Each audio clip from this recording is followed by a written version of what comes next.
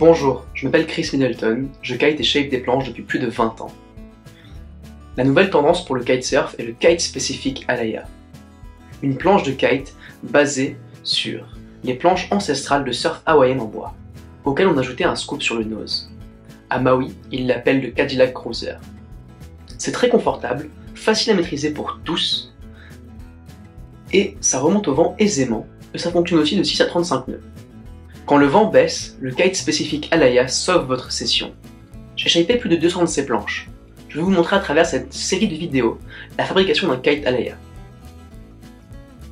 Ils sont faciles à construire et vous pouvez télécharger trois formes différentes que nous avons mises au point.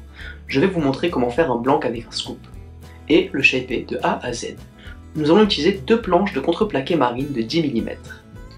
Le coût est d'environ 100 euros et du temps libre. Je vais vous montrer comment courber le blanc à l'aide d'une entretoise, des serre-joints, de la colle polyuréthane expansible et une zone de travail plane. Je vais vous expliquer pourquoi ces planches fonctionnent si bien. Cette longueur de rail droit lui permet de remonter plus facilement au vent, ainsi que le flex de la planche. Allez, commençons.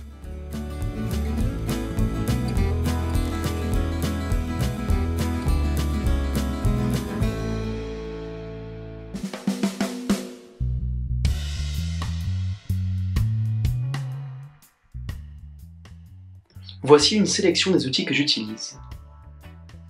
Mais vous n'avez pas besoin de les avoir tous. Cale de ponçage pour garder vos rails bien droits et carrés. Différentes cales pour poncer en courbe.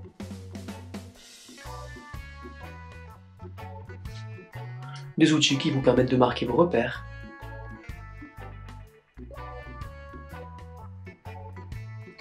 Outils électroportatifs vous aurez besoin d'une scie sauteuse et un de mes meilleurs investissements, une affleureuse, une petite perceuse, une ponceuse avec un aspirateur.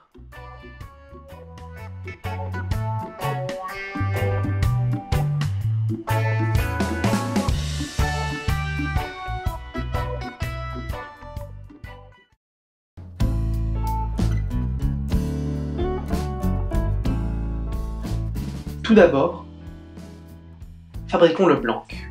Nous utiliserons deux panneaux de contreplaqué marine de 10 mm. Vous avez besoin d'une surface de travail plane.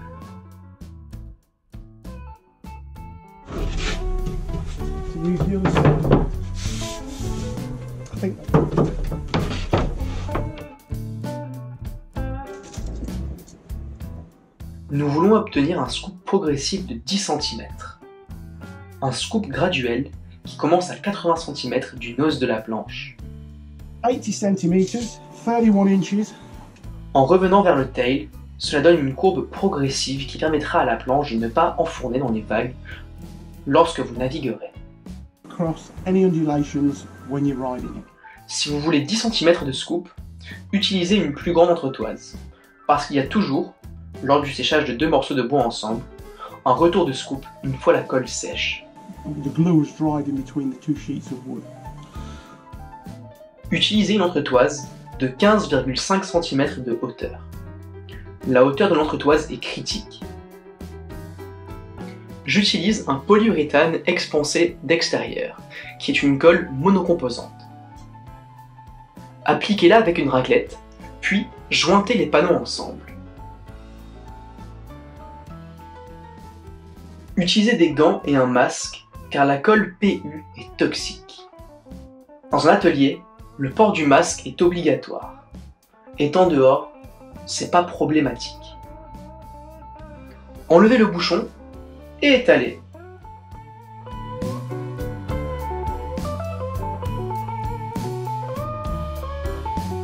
C'est une colle assez épaisse, alors soyez énergique avec votre raclette.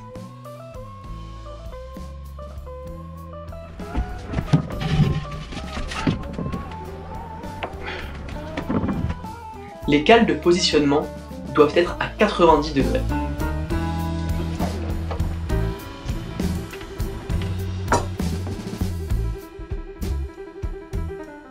C'est toujours plus facile à deux. Vissez les panneaux ensemble. Au coin extérieur, extrémité avant. Cela les maintient alignés. Ceci est la partie non utilisée de votre blanc. Serrez à 80 cm du nose. C'est le point de repère du début du rocker. Utilisez des poids, serre-joints, pour maintenir à plat. Laissez sécher pendant 24 heures.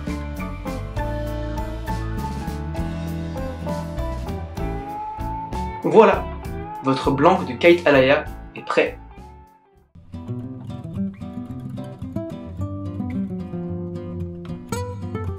Positionnez le modèle découpé en vinyle, le coller sur un aggloméré de 10 mm d'épaisseur.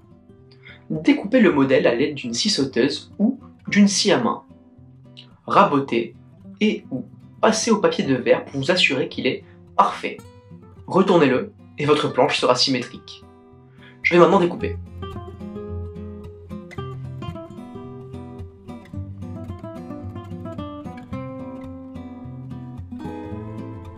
J'ai marqué une ligne centrale sur le blanc. Vous pouvez aussi marquer les deux trous d'aileron.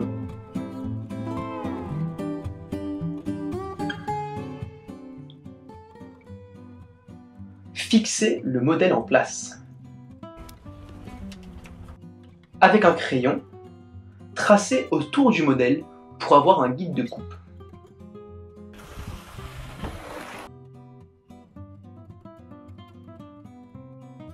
Flip it over, rinse and repeat.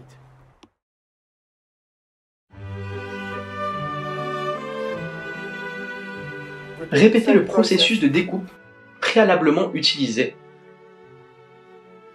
Laissez une marge de 1 mm par sécurité.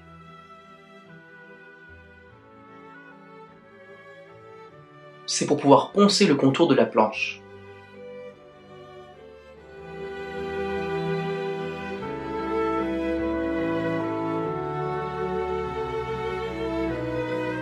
Assurez-vous que les rails soient poncés de manière perpendiculaire au pont. Il y a un petit excès de bois à enlever. Vous pouvez le faire avec une cale de ponçage, comme celle-ci. En utilisant une affleureuse avec une fraise à affleurer. Faire le tour du gabarit et retirer l'excédent.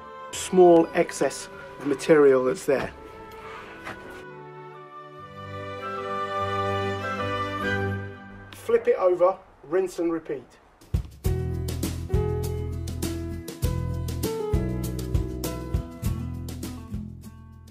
On veut réaliser une courbe régulière avec un lien quart de rond sur le rail carré.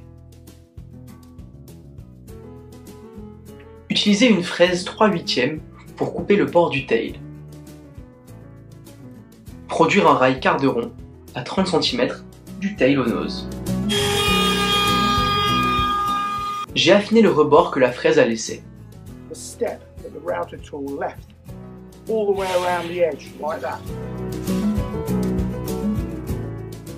Les premières planches que nous avons fabriquées avaient toutes des rails carrés, comme celui-ci. Mais on s'est aperçu que des rails progressifs étaient mieux. Utilisez la défonceuse autour pour fignoler. And so what I've got is I've got another router bit that I'm going to pass all the way around the other part. Les rails peuvent aussi être faits manuellement avec un rabot ou une vastringue. Section de rail affinée.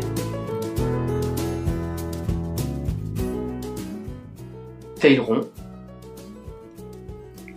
Joindre les deux sections ensemble. Ce qui a déjà été fait de ce côté comme vous pouvez le voir. Finesse et précision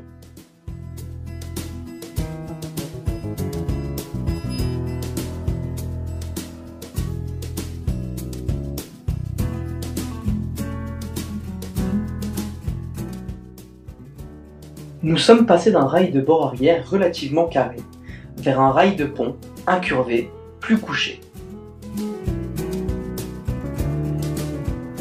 Réduire l'épaisseur du tail pour augmenter la flexibilité et enlever du poids. J'ai besoin d'une ligne directrice, donc je choisis un point à mi-chemin. J'utilise mon majeur et mon crayon pour marquer autour du tail. Je crée une ligne parallèle au pont.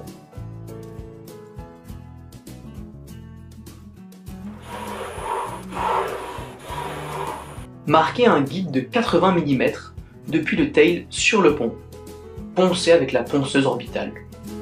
Pour enlever ça, comme ça. Nous devons faire un arrondi autour du rail, mesuré à partir du nose 10 cm. Prenez le gabarit et alignez-le avec le rail. Assurez-vous qu'il est bien à 10 cm. Si besoin, utilisez un serre-joint.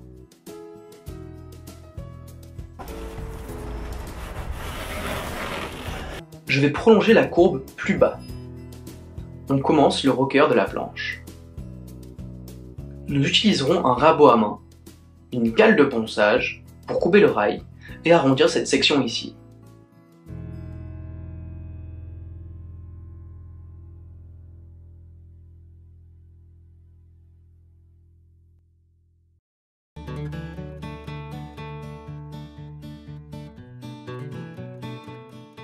Mesurez à partir du tail 150 mm.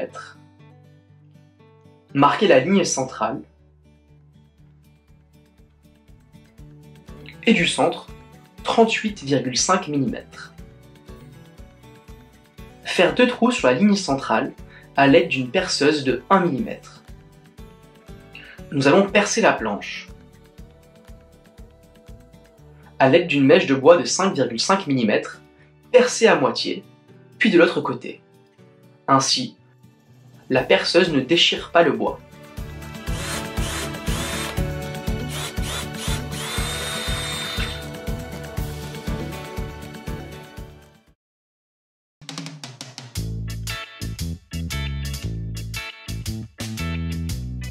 Utilisation d'un logo vinyle prédécoupé, téléchargeable sur le site.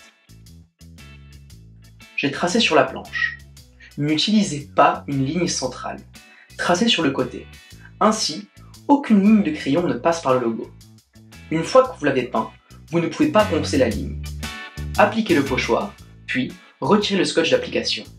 Un pinceau, n'importe quelle couleur acrylique que vous choisissez. Je vais utiliser du noir et remplir les yeux en bleu. Après 30 minutes, retirez le pochoir avec une lame de scalpel.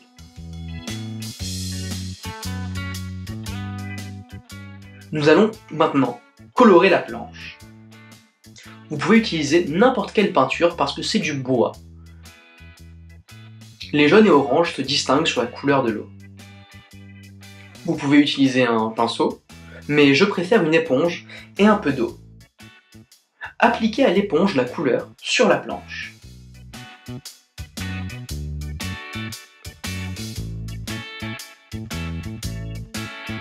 Flip it over rinse and repeat.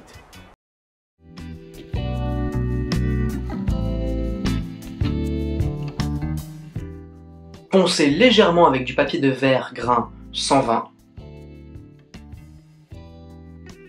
Mélangez la résine époxy en suivant les instructions. Utilisez un époxy transparent pour le bois. Ajoutez de la poudre de silice pour épaissir le mélange. Le nom commercial de la silice en France est Aérocil.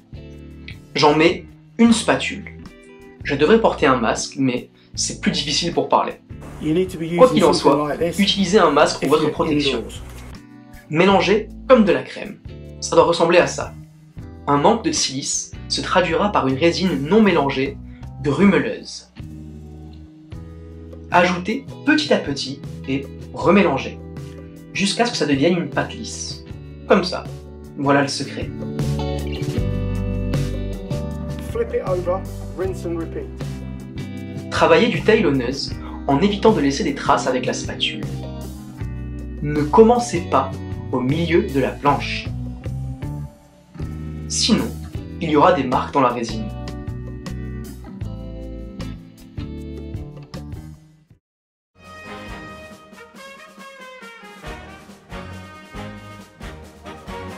J'espère que ces vidéos vous aideront à faire votre planche.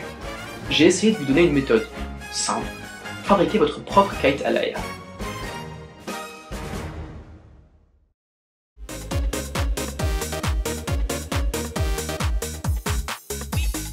Je construis tous mes Kilaya avec du polonia.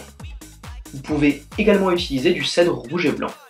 Ces bois légers sont parfaitement adaptés pour faire des kites Alaya.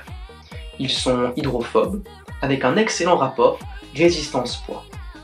Le contreplaqué est beaucoup plus lourd que le polonia, donc la planche que nous venons de réaliser pèse environ 8 kg, alors qu'une planche de polonia n'en fait que 5. N'oubliez pas, si vous utilisez l'un de ces bois légers, vous devrez faire une finition en fibre de verre et une hot coat. Pas d'aileron Simple aileron Twinzer ou Trifine Je préfère rider en Twinzer et Trifine, mais tout fonctionne. Channel dans la carène Je préfère utiliser des concaves. Des poignées dans les planches peuvent également réduire le poids. Le shape du tail joue un rôle prépondérant dans la maniabilité. Côté créatif, vous pouvez vous lâcher. Marqueterie, graphisme, utilisation de bois différents au nose et au tail, sculpture, évidemment pour alléger un peu plus, et pour créer une solution antidérapante. Par exemple, un pont en liège usiné en 3D. J'utilise également du vinyle et de la wax. J'espérais vous montrer le Kilea que nous avons fabriqué en action, mais en raison du confinement, ce n'est pas possible. Nous publierons un clip une fois de retour sur l'eau. C'est Chris Middleton, stay safe, et que les bons vents soient avec vous.